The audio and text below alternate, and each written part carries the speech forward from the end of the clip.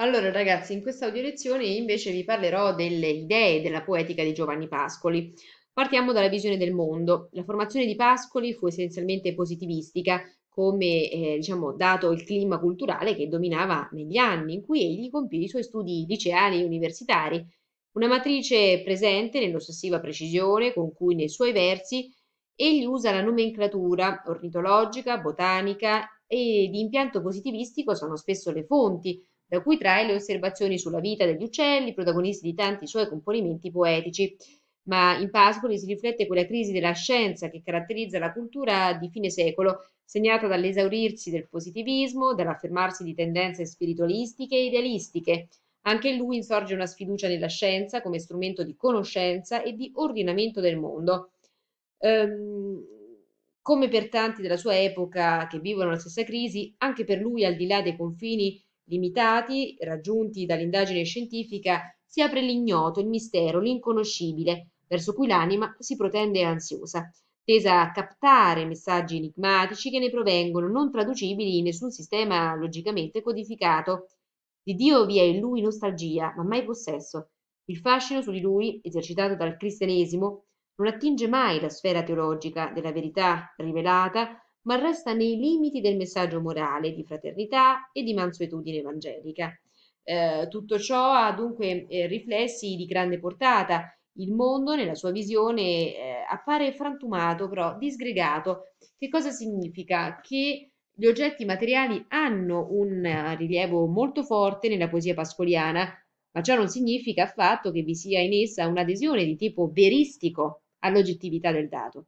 I particolari fisici sensibili sono filtrati attraverso la visione soggettiva del poeta e in tal modo si caricano di valenze allusive, simboliche, rimandando dunque a eh, immagini misteriose e affascinanti. Il termine preciso diviene come la formula magica. Perché è così preciso? Perché il termine preciso rimanda ad una formula magica che permette di andare immediatamente al cuore della realtà, di attingere all'essenza segreta delle cose. Dare il nome alle cose è come scoprirle per la prima volta, dice Pascoli, con occhi vergini e stupiti. Significa possederle intimamente, arrivare ad un'immedesimazione profonda con esse. Perciò, data questa soggettivazione, eh, soggettivizzazione del reale e la precisione scientifica della terminologia ornitologica degli animali, botanica delle piante, può accostarsi una percezione visionaria il mondo è allora visto attraverso il velo del sogno e perde ogni consistenza oggettiva. Le cose, infatti, sfumano le une nelle altre, si instaurano così legami segreti tra le cose. La conoscenza del mondo avviene attraverso strumenti interpretativi, non razionali, senza seguire tutti i passaggi del ragionamento logico, nel cuore profondo della realtà. Tra io e mondo esterno, tra soggetto ed oggetto, non sussiste per Pascoli vera distinzione. La sfera dell'io si confonde con quella della realtà oggettiva. Le cose acquistano una fisionomia antropomorfizzata, si caricano dunque di significati umani. La poetica.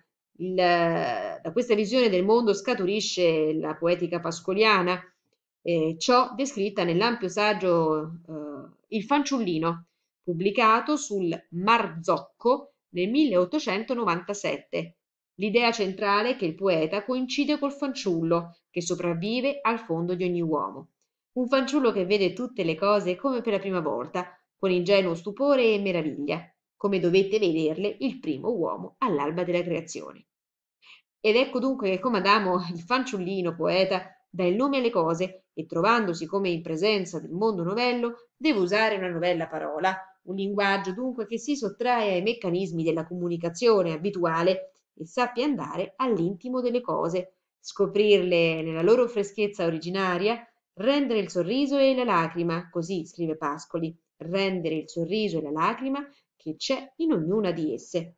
Dietro questa metafora del fanciullino è facile individuare la concezione della poesia come conoscenza alogica, prerazionale, concezione che ha le radici ancora nel terreno romantico, ma che Pascoli, ormai in direzione decadente, e grazie al suo modo alogico di vedere le cose, il poeta fanciullino, senza farci scendere ad uno ad uno i gradini del pensiero, ci fa sprofondare immediatamente nell'abisso della verità. L'atteggiamento irrazionale e intuitivo permette di cogliere direttamente l'essenza segreta delle cose, senza mediazioni. Ed ecco dunque che il poeta, in una parola, appare come un veggente dotato di una vista più acuta di quella degli uomini comuni, colui che per un arcano privilegio può spingere lo sguardo oltre le apparenze sensibili e attingere all'ignoto.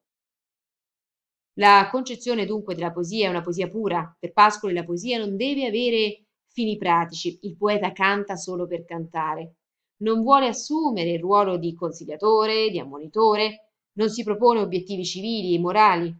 La sua è una poesia pura, assolutamente spontanea, disinteressata, Egli voleva abolire la lotta tra le classi e la guerra tra i popoli, come Virgilio. Il sentimento poetico, infatti, dà voce al fanciullino che è in noi, induce alla bontà, all'amore, alla fratellanza. E nella poesia pura del fanciullino per Pascoli è quindi implicito un messaggio sociale, un sogno, un'utopia umanistica e umanitaria che invita all'affratellamento di tutti gli uomini, al di là delle barriere di classe, che li separano gli uni dagli altri. È un rifiuto della lotta tra le classi, che si trasferisce anche nello stile. Pascoli ripiu- eh, ripudia il principio del eh, classicismo, che esige una rigorosa separazione tra ciò che è alto e ciò che è basso. Pascoli si attiene invece nella sua attività poetica e si propone come cantore delle realtà umili, delle realtà dimesse. Scopre il loro valore segreto ed eleva le realtà più semplici alla dignità alta. Partiamo adesso eh, in una, un altro audio di quello non tanto della politica quanto delle raccolte eh, poetiche. Le raccolte poetiche, eh, finisco questo audio, sono, eh, partiamo dal eh, Poemetti, raccolti una prima volta nel 1897. Ehm, successivamente avremo eh, l'anno del fanciullino, 1897, quando appunto pubblica Il fanciullino. Poi verranno pubblicati i primi poemetti e i nuovi poemetti, rispettivamente i primi nel 1904, i nuovi nel 1909. Si tratta di componimenti più ampi di quelli di Mirice, eh, dal taglio comunque eh, narrativo. In, nei poemetti eh, assume un rilievo dominante la vita della campagna. All'interno delle due raccolte si viene infatti a delineare un vero e proprio romanzo georgico. La narrazione è articolata in veri e propri cicli eh, che tratta, diciamo, si basano sulle varie operazioni del lavoro, dei campi, la sementa, l'accestire, con due accestire, nei primi poemetti, la fiorita e la mietitura nei nuovi poemetti. È dunque la celebrazione della piccola proprietà. Ma attenzione, il mondo rurale pascoliano è idealizzato, idillico e ignora gli aspetti più crudi della realtà popolare la miseria, la degradazione. Eh, la disumanità, diciamo, della lotta per la vita che fanno sì che la campagna sia anche equivalente di un altro tipo di società. Pascoli questo non lo cita, si sofferma sugli aspetti più quotidiani, umili, ma anche la, questa precisione eh, della nomenclatura non ha nulla di naturalistico, al contrario eh, vuole ridare eh, una, eh, come dire, una fres- freschezza originaria alla parola. Il poeta vuole mettere in rilievo quanto di poetico è presente anche nelle realtà umili, eh, sublimando, cioè portando in su la loro dignità. Vi ricordo in primis però, prima del, dei poemetti, ovviamente la raccolta Mirice con la Y, Miricae, Mirice.